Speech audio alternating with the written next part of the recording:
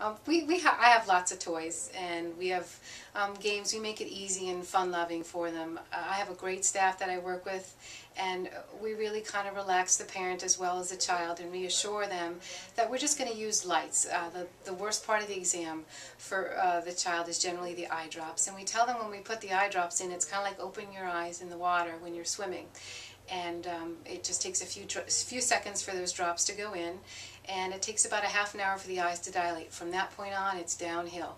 All we do is shine little lights in the eye, nothing touches the eye, and it's very easy, like flashlights in the eye.